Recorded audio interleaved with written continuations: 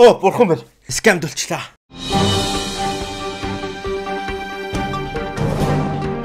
гимт хэрэгт цаазын ял оноох тухай нэмэлтийг эрүүгийн хуульд оруулах хуулийн төслийг Монгол Улсын ерөнхийлөг санаачилжээ.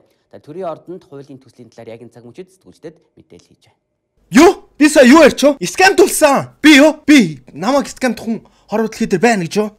Байна, байна. Hello, darkness, my old friend. Йоо, fuck. За за. Зарим нь намайг скам тулсан гэхэд амар баяртайгаа. Зарим нь одоо яаж скам тулчихоо гэд гайхаж байгаа. Тэгээ би өнөөдөр бас энэ видеог бас та нарт анхааруулах журмаар хийж байгаа гэж ойлгож байна. Хэрвээ та нар анзаарсан бол би шин цамцтай байна. Яа, тасархаа. Яа, энэ ихтэй дотор нь амар нилон милон юм амар хатгаад байна. Энэ нөгөө цагаан сараар бэлгэнд авсан байхгүй. Гэтэ бас тэгээ та нарт хэлээг бол бас нэг тийм гоё яригч нэг үгүй. За, тэр яг энэ scam идэр бол бүр амар юм байлээ. Миний ганц шүтдэг Монгол тоглогч машин ган нөгөө Eclipse орсон шүү дээ. Eclipse ороод хамгийн анхных нь тоглолт болох ч байгаа болохоор би бүр хөөрөө бет тавих гад Хутаа нөгөө депозит хийж бет тавих гад тэгсэн чинь тэгээд э, нэг скам болцсон юм а бүр утас муцаа сэнгэлж байгаад конфирм өдр дарсан. За тэгээд энэ скам өнөөдөр яаж явагдсныг хийдлээ. Сонирхоцгой. Тэгэхээр аа би нэг тийм сайт руу орсон. Тэгээд би нөгөө байнга нөгөө скинүүд ингэж exchange хийж яг өөртөө таалагдсан нөгөө паттернтэй ч юм уу эсвэл float float багтаа юмнууд сонирхож ингэж авдаг аахгүй. Тэгээ ингээд нөгөө Google дээр хайжсэн чи надаа юу skins hub signet гээд нэг тийм балаа. Одоо та нар дэлгэсэн дээр харж байгаа ийм гараад ирсэн. Тэгээд энэ миний нэг scam scam нь хараагүй маа. Энэ тэгээ яаж ажилтдаг вэ гэхээр энэ бүр амар ухаалаг байгаа болоо. Тэгээд би нэг болохоор Монгол хүн л нээсэн гэж бодоод байгаа. Яа тэгэхээр одоо чинь та нар bet тавьдаг бол bet хийдэг сайт руу орж байгаа deposit хийдэг товчлуур дээр дарангуут яг нөгөө trade off сайтаас ирсэн офер руу орох хэрэгтэй шүү. Энэ бүр тийхгүй заяа. Зүгээр ямар ч одоо CS:GO Fast одоо CS:GO 188, Dota 188 ямар ч юм хамаагүй. Зүгээр trade offerтай л холбоотой амир орчвол тэгээ шууд scamтчдаг. Энэ бүр амар сайт л. Тэгэхээр ер нь бол би яагаад энийг ингэ сонирхож үзсэн бэ гэхээр хамгийн гол намайг scamтахгүй гэдэгт би бүр амар ихтэлтэй байсан байхгүй. Яагаад вэ гэхээр энэ хингийн мэдээж энэ дээр бол та нар харж байвал юмнууд нэг хямдхан байсан. Тэгээ би нөгөө sign in хийгээд ороод скинүүдэд шалгаж үзсэн байхгүй. За одоо ингээд нэвтрэнгүүт pop up гарч ирж байгаас pop up ерөөсөө Steam дээр гарч Steam рүүгөө шууд орох хэвээр эсвэл өөр хэсэг рүү орж иж одоо нөгөө баталгаажиж иж ордог байхгүй. Тэгэхээр би эхлээд за энэ ч ямар сони юмтай гээл тэгээ залхуураад нөгөө бет угаас эхлэх гээд байсан болохоор шууд худлагаас ингэж би мэдээлэл оруулж үзсэн байхгүй. Тэгсэн чинь хамгийн гайхалтай нь яасан гэж уншсан заяа. Одоо харж байна. Уншаал. Уншингуудаа доор нь заяа. Бүр хамгийн зөв нь заяа. Бүр хамгийн зөв нь харж байгаа сте. Харж байна уу? Нууц үг буруу нэ гэж байгаа. Тэгэл би энэ дээр яг одоо жинхэнэ нууц үгээ хийх юм бол зөв байна гэж гарч ирэн заяа. Зөв байна гэж гарч ирэнгүүтээ миний Steam Guard-ыг асуугаад тийм session-ыг ашиглаад одоо жишээ над дээр ирсэн бүх оффруудыг энэ нөхөр бол яаж болж байгаа а шууд над руу ирсэн бүх оффруудыг decline хийгээд decline хийнгүүтээ яг адилхан зурагтай, яг адилхан нууц нууц одоо тайлбартай, нэртэй яг нөгөө төр одоо бусд одоо нөгөө сайтын оффрыг дуурайгаад яг надтай адилхан ингээ оффер явуулчихдаг зэ. За одоо хэдүүлээ. Миний юу орж үзье. Энийг одоо нөгөө явуулсан хутгаа явуулсан хаяга хийдлээ үзье. За одоо хутахгүй. Энд дээр тодорхой гараад ирэндээ my god Яг миний тэр эсвэл би яг 3 сарын 21-нд төрсөн өдрийнхөө маргааш нь скамд болсон юм байна шүү дээ. Хамгийн гоё нь. Йоо, энэ болохоор харж байна та. Эндээс би ингээ хутгаа ийшээ явуулсан байгаа заяа. Тэгээд ингээ харангуут энэ trade banned болсон заяа.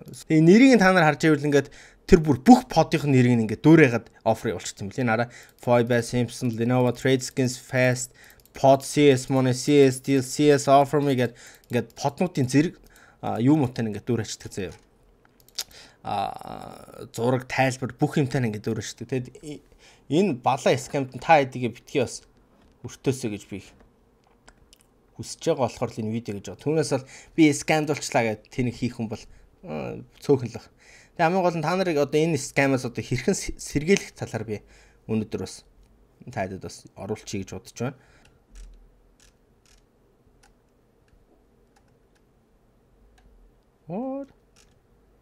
3 сарын 20. За хэдүүлээ энэ юу гараад ирлээ. Аа за яг одоо ингэ та нар харж байгаа л одоо юу байгаа заяа. Энэ болохоор миний юу байгааз энэ болохоор яг 21 нөгөө CS:GO 188-аас ирсэн оффер واخхой юу. Тэнгүүт чинь шууд автоматар ингээд decline хийчихдэг заяа. Би өөрөө мэдээг хугацаанаас миний одоо юу гарч session ч юм одоо юу мэдхгүй.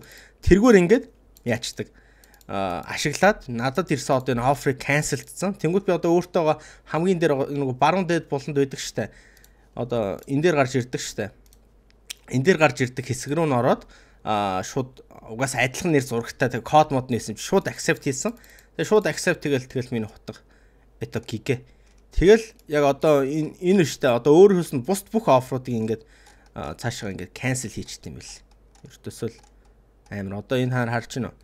Одоо энэ яг жинхэнэ нөгөө ориг юу юу нэг байхгүй. Энэ хараа. Ориг юунуудын ингээд оффрууд ингээд cancelдчихдаг.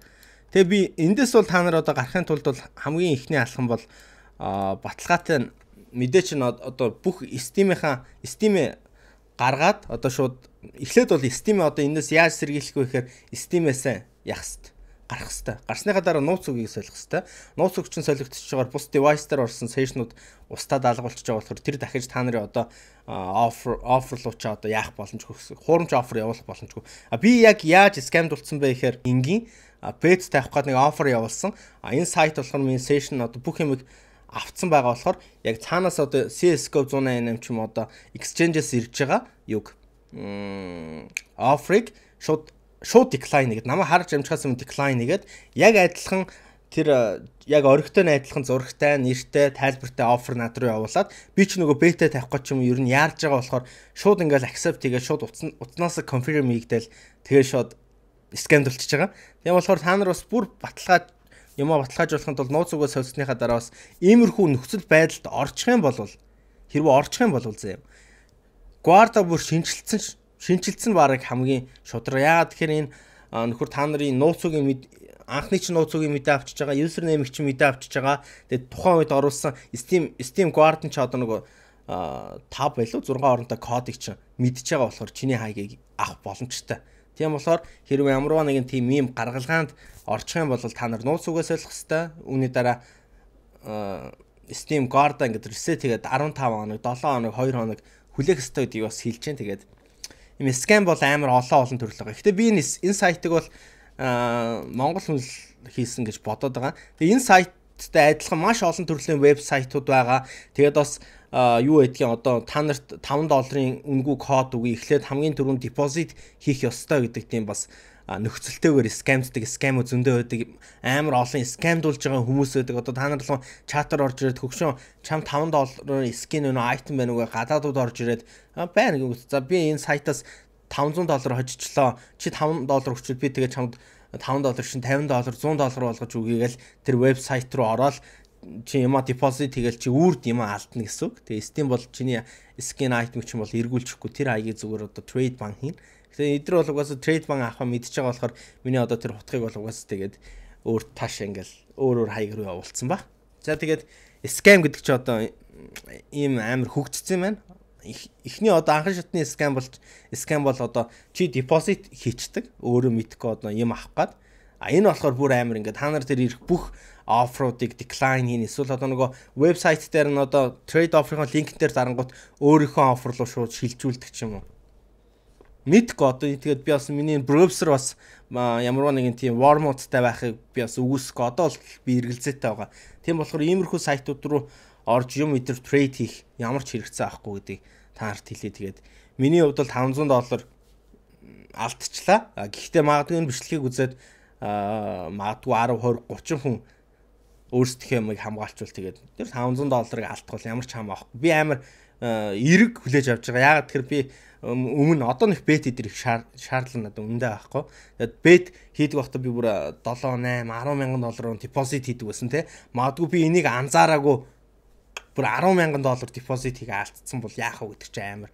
Та хэд маань ч бас нэг иймэрхүү юмны хохирогч болохыг бас үгүйсэхгүй. Тийм болохоор дараа дараагийн удаа оффруудаа маш сайн шалгаж байгаарай л гэж сайдад хэлмээр энэ иймэрхүү төрлийн вебсайт маш их байгаа. Тийм болохоор баталгаатай вебсайтуудыг хит хит жижигхэн item skin deposit хийгээд ч юм уу турш үзээ гэж хүсэж байна.